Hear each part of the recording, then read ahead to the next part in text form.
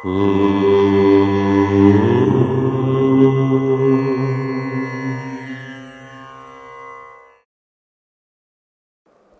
గణేశ శారదా దత్తాత్రేయ సద్గురు చరణారవిందాభ్యాం నమ.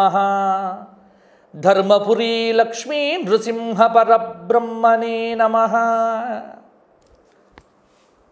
సుధర్మ ప్రేక్షకులకు ఈ కార్తీక మాసంలో వచ్చేటువంటి కార్తీక పూర్ణిమ గ్రహణం చంద్రగ్రహణం.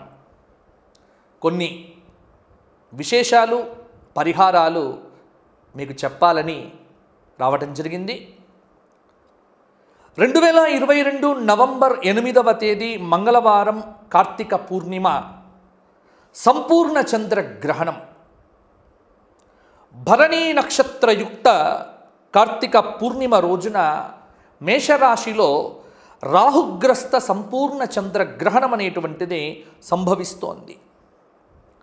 స్పర్శకాలం మధ్యాహ్నం రెండు గంటల ముప్పై తొమ్మిది నిమిషములకు ప్రారంభమై మోక్షకాలం సాయంత్రం ఆరు గంటల పంతొమ్మిది నిమిషముల పర్యంతం. ఈ- సంపూర్ణ చంద్రగ్రహణం అనేటువంటిది మేషరాశిలో భరణీ నక్షత్రంలో రావటం వల్ల మేషరాశి వారు ఎవరైతే ఉన్నారో వారు భరణీ నక్షత్ర జాతకులు ఎవ్వరు కూడా ఈ గ్రహణాన్ని చూడకూడదు. గుర్తుపెట్టుకోండి. ఈ గ్రహణాన్ని వారు వీక్షించకూడదు.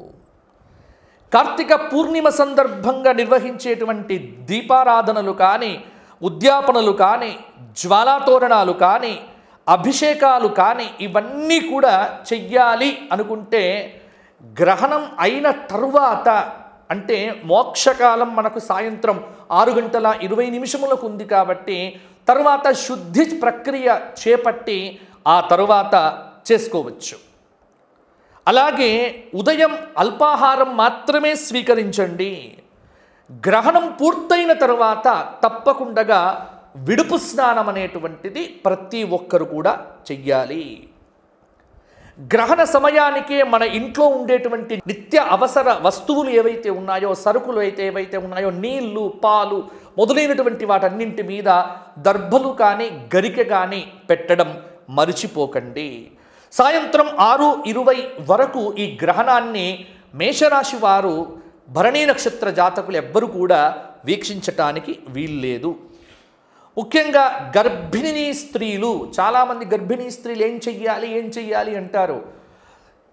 తప్పకుండా గ్రహణాన్ని చూడకూడదు గ్రహణ కిరణములు మీరున్న గదిలోకి రాకుండగా జాగ్రత్త పడండి. ఈ విషయంలో ఆధునికులు చెప్పేటువంటి విషయములను ఏవిటిని కూడా పరిగణలోకి తీసుకోకండి. ముఖ్యంగా గ్రహణం కంటే కొన్ని రోజుల ముందు గ్రహణం వచ్చే రోజు. గ్రహణాన్ని తప్పు పట్టేటువంటి టీవీ ప్రోగ్రాములను అస్సలు మీరు వీక్షించకండి. ఆ చర్చలను మీరు పరిగణలోకి తీసుకోకండి. ఎందుకంటే గ్రహణం మీద విశ్వాసం లేనటువంటి వారు దయచేసి ఈ కార్యక్రమం మీరు చూడకండి. విశ్వాసం ఉన్నవారికి మాత్రమే ఈ కార్యక్రమం. కాబట్టి ఎటువంటి చర్చలకు కానీ హేతువాదాలకు కానీ తావు లేదు.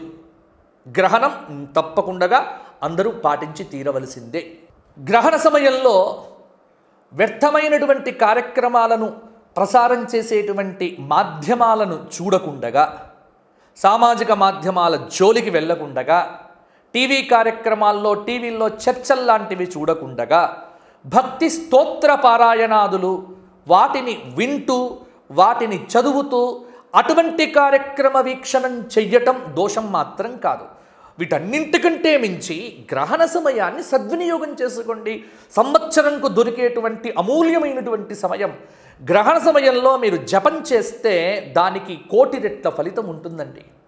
కాబట్టి ఆ సమయాన్ని సద్వినియోగం చేసుకోవాలి కానీ ఆ సమయాన్ని పాడు చేసుకోకండి. గ్రహణ సమయాన్ని ఖచ్చితంగా అమూల్యంగా భావన చేసి ఉపాసనను పెంచుకోండి. దేవతా స్తోత్ర పారాయణాదులు చేయండి. అనవసరమైనటువంటి భయాలను అనవసరమైనటువంటి మూఢనమ్మకాలకు మాత్రం వెళ్ళకండి.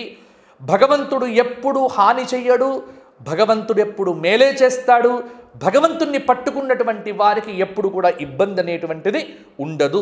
కాబట్టి ఈ నియమాలు తప్పకుండా మీరు పాటించండి. ఇక స్నానమైపోయిన తర్వాత ఇల్లంతా శుద్ధి చేసుకోవడం మాత్రం మరచిపోకండి. అలాగే ఆబ్దికాలు పెట్టేటువంటి వారికి ఆబ్దికాలు పెట్టేటువంటి వారికి మరుసటి రోజు ఆబ్దికం పెట్టడం అనేటువంటిది చాలా వరకు మంచి విషయం. అయితే ఇక్కడ కూడా శాస్త్రంలో గ్రహణం పూర్తయిన తర్వాత వెంటనే రాత్రి సమయంలో కూడా శ్రాద్ధాదులు పెట్టవచ్చు అనేటువంటి వాక్యాలు మనకు కనిపిస్తున్నాయి. కానీ అది చాలా కష్టమైనటువంటి విషయం కాబట్టి మరుసటి రోజు ఉదయం అనేటువంటిది మధ్యాహ్నం అనేటువంటిది అబ్దికాలు అనేటువంటివి పెట్టుకోవచ్చు ఎటువంటి దోషాలు అనేటువంటివి ఉండవు. ఇక ఈ చంద్రగ్రహణం కారణంగా మేషరాశి వారికి వృషభ రాశి వారికి కన్యా రాశి వారికి మకర రాశి వారికి కొంత ఫలితాలు ఇబ్బందికరంగా ఉండవచ్చు.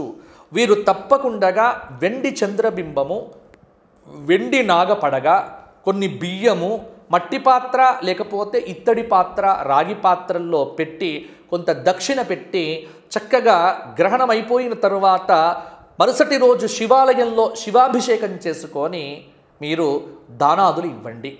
తద్వారా గ్రహణ సంబంధమైనటువంటి దోషాలన్నీ కూడా మీకు తొలగిపోతాయి. ఇక తుల ధనుస్సు సింహము మీనరాశుల వారికి ఈ గ్రహణం అనేటువంటిది మధ్యమ ఫలితాలను ఇస్తోంది. వీరు కూడా చక్కగా దానం చేస్తే కూడా మంచిది వీరు. ఇక కుంభం వృశ్చిక కర్కాటకం మిథున రాశి వారికి కొంతమేర అనుకూల ఫలితాలు కలిగేటువంటి ఆస్కారం కూడా ఉంటుంది. కాబట్టి వీరు గ్రహణాన్ని చూడవచ్చు.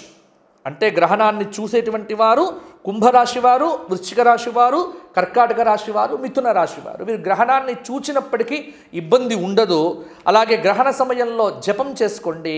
గ్రహణానంతరము శుద్ధి చేసుకొని చక్కగా పారాయణాదులు పూర్తి చేసుకొని శివ సహస్రనామం విష్ణు సహస్రనామాదులు కూడా తప్పకుండా పారాయణం చేయండి గ్రహణం తెల్లవారి అందరూ కూడా శివాభిషేకం చేయించుకోవడం అనేటువంటిది చాలా వరకు కూడా మంచి ఫలితాలను కలిగింపజేస్తుంది.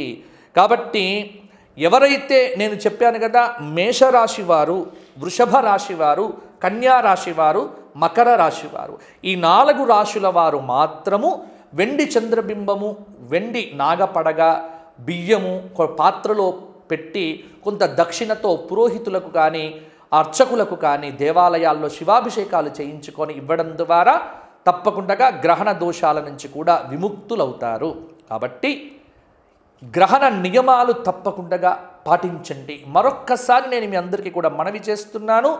దయచేసి టీవీల్లో ప్రసారమయ్యేటువంటి వ్యర్థమైన చర్చలు హేతువాదులు వేసేటువంటి ప్రశ్నలు హేతువాద కార్యక్రమాలు అలాగే సామాజిక మాధ్యమాల్లో ప్రసారమయ్యేటువంటి కొన్ని కొన్ని పిచ్చి పిచ్చి విషయాలు వాటి జోలికి వెళ్ళకండి.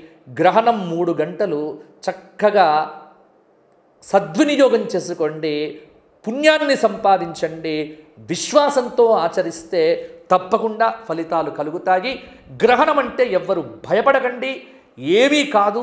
భగవంతుణ్ణి చక్కగా సేవిస్తే భగవంతుడు ఎప్పుడు కూడా మనకు మేలు చేస్తాడు. గ్రహణ సమయంలో మీ వ్యక్తిగతంగానే మీరు జపం చేసుకోవటం వ్యక్తిగతంగా పారాయణాలు చేసుకోవడం మంచిది. అంతేకాని గ్రహణ సమయంలో ఎక్కడికో వెళ్ళి ఏవో పూజలు చేయించుకోవడం అనేటువంటిది కూడా అంత హేతుబద్ధ నిర్ణయం కాదు. కాబట్టి అర్చకులు బ్రాహ్మణులు అలాగే ప్రతి ఒక్కరు కూడా ఈ గ్రహణ సమయాన్ని సద్వినియోగం చేసుకోండి. కార్తీక పూర్ణిమ రోజు వచ్చేటువంటి గ్రహణం రోజున తప్పకుండా దత్తాత్రేయ సహస్రనామము శివ సహస్రనామము విష్ణు సహస్రనామ స్తోత్ర పారాయణాలు చెయ్యండి. అద్భుతమైనటువంటి ఫలితాలు మీ సొంతమవుతాయి. స్వస్తి.